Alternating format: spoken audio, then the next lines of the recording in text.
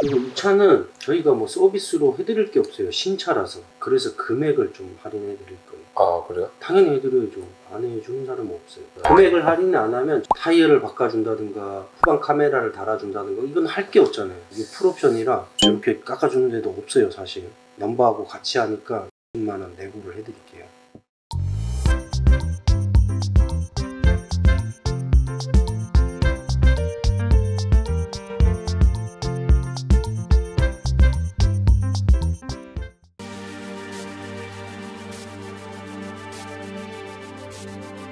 이건 몇 분을 드릴 것 같아?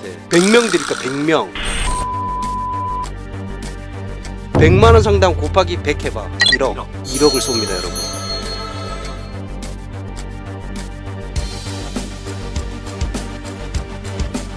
오세요, 디젤 트럭으로. 이 일을 처음 하는 거니까 네. 차 때문에 뭐 스트레스 안 받으려고 금액 좀 더 주더라도 어, 금액은 좀 안전하게 안전하게 해야죠. 제가 한번 설명드리고 궁금한 거 있으면 여쭤보시면 돼요. 여기 받으시는 넘버인데 저희가 직접 매입한 서류예요. 이런 것들이 도장이 다 찍혔죠. 그러니까 여기서 중요한 건 뭐냐면 내가 넘버를 계약하러 가더라도 이런 서류가 없어요. 직접 매입하지 않고 중개하는 분들이 많아요. 예. 이런 것들이.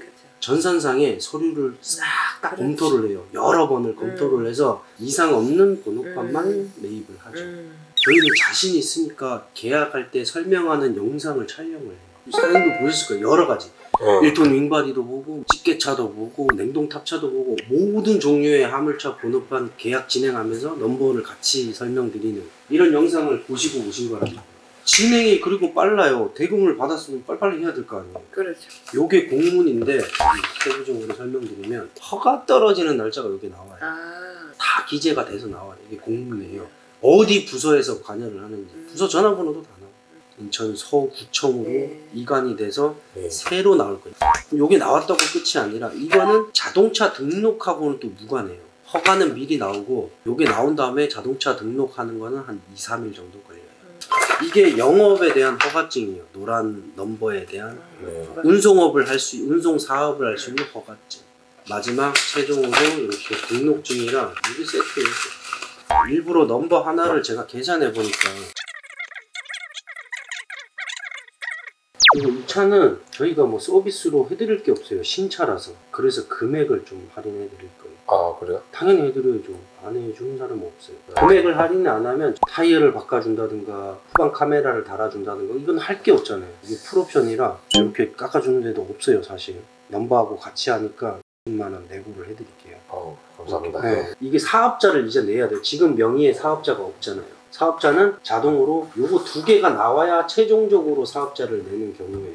사업자를 내야 화물 복지 카드라고 유가 환급되는 거 있어요. 유가 보조금이 나와요. 그것도 저희가 다 만들어 드릴 거예요. 그거하고 영업용 보험하고 딱 일할 수 있게 모든 과정 다 맞춰 드릴 거예요. 끝날 때. 그 어플은 이게 다 되고 나서 이제 되는 건가요? 네. 보는 미리 보는 방법이 있어요. 체험판이라고 있어요. 아, 여기 그래요? 가장 메이저 콜이 24시 콜이거든요.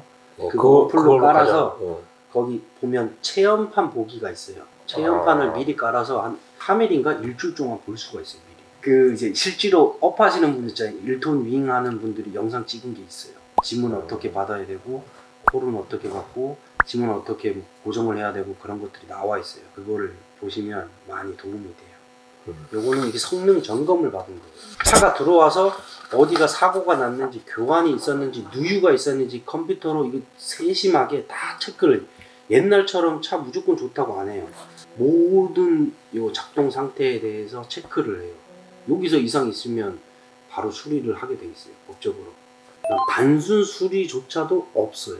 주행거리가 5천 킬로밖에 5천 킬로면 그거 새거 공장에서 나와도 뭐 500km고 궁금한 걸 몰라도 되는 게 이거는 이제 이전 과정을 이렇게 적어놨고 다 끝나고 이거는 우리가 다 하니까 이건 신경 안 음. 쓰셔도 돼. 다 끝나고 본인이 할 걸 밑에다 적어놨어. 등록증이나 허가증이 나오면 아까 두 개 나온다 그랬죠. 요거 두 개 들고 세무서 가서 일반 사업자를 하나 만들어 만들어서 저한테 이메일이나 사업자를 저한테 보내주는.